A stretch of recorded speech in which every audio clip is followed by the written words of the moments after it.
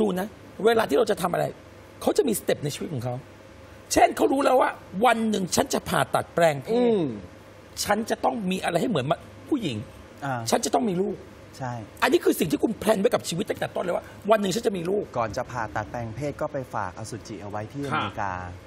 คือเราต้องคิดก่อนค่ะว่าอืมเราเป็นผู้หญิงข้ามเพศแล้วเราไม่มีมดลูกแล้วเราจะทำยังไงเออเพราะฉะนั้นเราไม่ทำอะไรสุ่มสี่สุ่มห้าเชื่อไหมไม่ได้แบบว่าไม่มีอะไรกับผู้ชายอย่างเดียวนะ แม้กระทั่งยาคุมสักเม็ดคือเพื่อสร้างฮอร์โมนไม่เคยกินเคยกินณตอนวันที่ 1 กุมภาพันธ์ตอนปี 18 ก็คือตอนอายุ 39 กินตอนก่อนนั้นที่จะแปลงเพศ พอ 6 เดือนให้หลังแปลงเพศทันทีค่ะ โอ้โหแล้ววันที่แปลงก็คือวางแผนมาตลอดชีวิตวางแผนตลอดทั้งชีวิตว่าครับพอเวลาแปลงเพศเสร็จปุ๊บเนี่ยณวันนั้นนะคือวันที่หนึ่งกันยายนตื่นมาปุ๊บร้องไห้เลย เพราะคุณหมอนะวอ s แอปมาจากที่อเมริกาว่าแล้วบอกว่า congratulations Miss Anne your son is conceived เออคือลูกชายอะก็คือว่าที่ไปปฏิสนธิอะ ใช่ไหมยิงเข้าท้องของแม่อุ้มบุญสำเร็จเรียบร้อยแล้วอีก 9 เดือนเจอกัน มารับลูกได้เลย โอ้โห แล้วก็เลยโทรศัพท์กลับไปแล้วบอกว่า please name him Andrew from now on เพราะว่าเราอะแต่ก่อนชื่อว่า Andrew ใช่ไหมคะ Andrew เป็นแต่พอพิธีกรเวลาเราไม่มีความเป็นผู้ชายแล้วอะเราก็มอบความเป็น Andrew เนี่ยให้กับลูกชายไป แล้วก็คือโทรศัพท์บอกว่า from now on call me Ann เออ เหลือแต่แอนไม่ต้องมีดรูอืมเพราะฉะนั้นเนี่ยแอนดรูก็เลยมอบให้กับ ลูกชายลูกชายคนแรกส่วนลูกสาวก็คือชื่อว่าแองเจลิก้าครับทั้งคู่เป็นลูกครึ่งเยอรมันไทยนะคะ ก็คือว่าเชื้อแอนเนี่ยนะคะเป็นอสุจิแล้วก็คือว่าไปหาไข่ของผู้หญิงอเมริกันอ่าซึ่งเขาเป็นเชื้อสายเยอรมันมา ค่ะ แล้วก็คือว่าใช้เงินคนละ 15 ล้านในการที่จะผสมออกมาเป็นลูกขนาดเขานี้ย ก็ต้องจ่าย เราก็ต้องจ่ายไม่แต่เราคนจ่ายละสิบห้าล้านคนลูกคนสองคนที่เป็นเอกโดเนอร์หรือว่าคนที่บริจาคไข่คือเป็นผู้หญิงอเมอ่าเยอรมันเนี่ยเราจ่ายเงินให้เขาไปนะ เป็นจ่ายเงิล้านนให้เลย เขา แต่ว่าต้องบอกว่าเขาเป็นหมอจิตวิทยา ตาฟ้าผมบรอนซ์อย่างสวยมันเลเลยยต้องค่ะเอาสวยๆใช่ไหมล่ะ สวยมากแล้วก็คือพูดสำคัญว่าสุขภาพไปถึงปู่ทวดดีมากเพราะเขาให้ตรวจหมดนะคะ แล้วก็จิตใจ IQ EQ ดีหมด เขาตรวจหมดทุกอย่าง ทุกสิ่งทุกอย่างก็เลยกลายเป็นว่าเราเลือกคนนี้ พี่เลี้ยงกี่คนล้านพี่เลี้ยงเนี่ยเอ่อจริง ๆ แล้วมี nanny คนละหนึ่งหนึ่งแล้วก็คือว่ามีบอดี้การ์ดมีเชฟคนที่ดูแลคุณแม่ แล้วก็คือมีคนขับรถ คือรวมๆกันนะทีมงานมีทั้งหมด 7 คนในการดูแลน้องสองคนอืมฮะนี่เป็นสาเหตุที่จะต้องหาผู้ชายเชื้อสายเยอรมันได้ไหมครับ อันนี้เขาเชื้อสายเยอรมันของแท้ ก็เออพอดี match กันอะไรอย่างเงี้ยเพราะลูกเราก็เชื้อสายเยอรมันเหมือนกันเออแต่อย่าเพิ่งไปดพูดให้เขาได้ใจมาก เพราะยังอยู่ในช่วงออดิชั่นอยู่โอ้โหแม่นามีหลายคนตอนเนี้ยอ่าแล้วเขาไม่โกรธแล้วเขาไม่งอนเหรอแม่อะก็วลาชัดแม่เจนบอกว่าเอาไม่เอาก็ชั่นก็ไม่พี่พูดอยู่เสมอๆให้กับคุณผู้ชมฟังเลย คือแอนจะบอกกับผู้ชายทุกคนที่เข้ามาในชีวิตว่า ความรักเนี่ยถ้าจะรักแอนนะ ต้องไม่มีเงื่อนไข อืม พูดง่ายๆ แอนต้องอยู่เหนือเงื่อนไข โอ้กูไปขายสมบัติแล้ว จะใช้ชีวิตอย่างนี้พูดบ้างไหมตรงเอาละ ๆชัดเจน เพราะว่าเรามีสิทธิ์ที่จะเลือกเพราะเราเลือกได้ ค่ะแม่ เราทำชีวิตมาถึงขนาดนี้แล้วเงินก็เงินเราลดบ้าน ทุกอย่างของเราหมด บริวารทำด้วยตัวเองหมดเลย บริษัทก็มาหาชนทุกสิ่งทุกอย่างเจ็คืดอแปดฉันพันไม่กว่าล้านแล้วฉันไม่น้องมีแบมอะไรแล้วอะเจ็ดแปดพันล้านแล้วอะแปดพันล้านใช่ไหมแล้วคะ นะ แล้ววันที่ 3 เนี่ยเร็วมาก โนเวม ber เนี่ยก็คือว่าจะจัดงาน JKN Spectacular จาก MAI ดิฉันย้ายเข้าเซตก็คือเป็นหมื่นกว่าล้าน เออ คือสิ่งที่เราต้องทำนะ ก็คือว่า เราอะให้เกียรติกับทุกคน ครับ แล้วคือทุกคนเนี่ยก็คือรู้ว่าอยู่ในช่วง audition เพราะท้ายที่สุดก็เหลือแค่คนเดียว เออก็อีกหนึ่งความฝันที่ผู้หญิงจะต้องมีก็คือการแต่งงาน คือแต่งการแต่งงานต้องเลือกให้ดี ไม่ใช่พอเวลาแต่งไปปุ๊บฉันไม่อยากเลือกผัวคนนี้เลยฉันแต่งไปทำไมอะอ่า เอาแล้วแต่งทำไมเออ ก็ต้องเลือกให้ดีก่อน ก็ต้องแล้วก็เลือกให้ดีก่อนแล้วเราไม่มีสิทธิ์เลือกเหรอพอเวลาเลือกปุ๊บใช่ไหมคะ ก็ต้องคบ